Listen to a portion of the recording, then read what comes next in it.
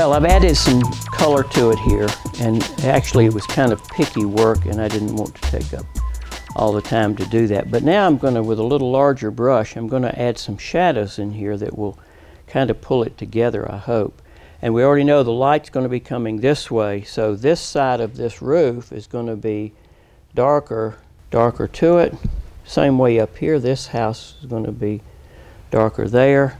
And this one's going to also be darker right around the whole top there. And a little snow over there on that side. This has some light hitting right there. This side is also in shadow, so we'll pull a little bit of that down. You can see it kind of bubbling up. That leaves a neat effect. This side over here is going to have a shadow from that silo.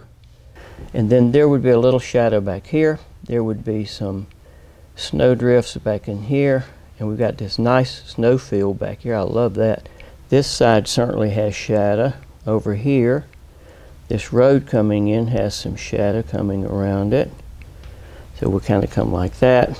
This comes over here. Right back here we've got a full shadowed snowdrift. I'm using almost the same color for all of my snow shadows because it works so good. It, it, back here this continues through here that way. May have a little bit of shadow right in here like that. Now if you don't live where you have snow and you've never seen this, it, it this seems kind of crazy what I'm doing probably, but if you've seen snow before, and I've seen lots of snow, you'll realize that it lays kind of like that. And down here, of course, this is over here like that. Over here, we have a little bit of, yeah, let's have, let's have a couple of, that one can come down there like that, that one over there, and this road comes on in there like that. This one's going to have light here because the light's hitting right in there. Partly I'm doing this because I have this white edge over here. The road has a little bit of a, a gravelly or it's a dirt road and uh, so we're going to come in here with the side of the brush, kind of pull the tracks around. We'll put a fence in there. I have a large fence here because it's pretty tall and that'll bring us in. Over here we'll do the same thing. We have some fence over here. And we have this telephone pole or power pole. There's that one. A little darker stuff right in here. And in here.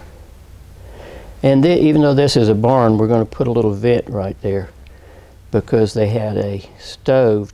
Putting in some detail here on this. And I'm going to pull in some, some trees, tree trunks right over in here.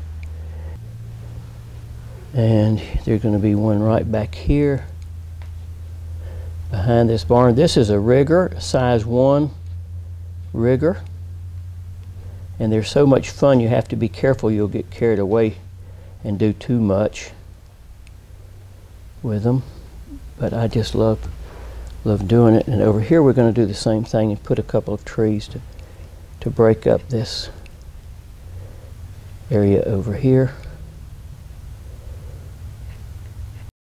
Now let's take the tape off and see where we are. It's kind of going to be like a mat. And if we like it, great. If we don't, we can do some more. It bled in there a little. I didn't get it down good on the Terraskin. I should have. But that'll clean right up. And that's the beauty of Terraskin.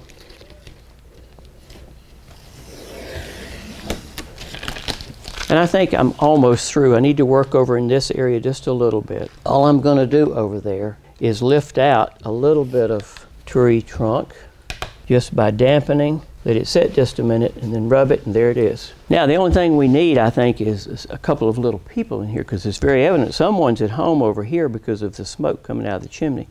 And then we have to spray it with snow. We haven't done that yet. So we're going to come in here with a really, again, rich, strong blue for a jacket on someone, a girl or a boy. And he or she going to be right here.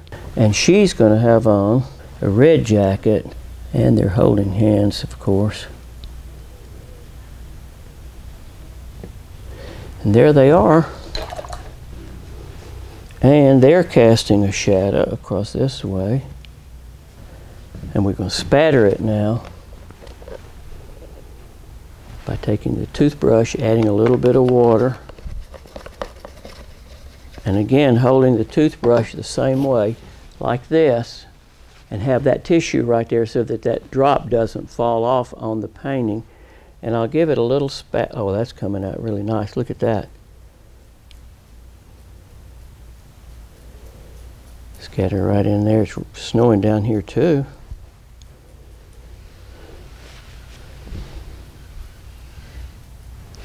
And I think that's finished.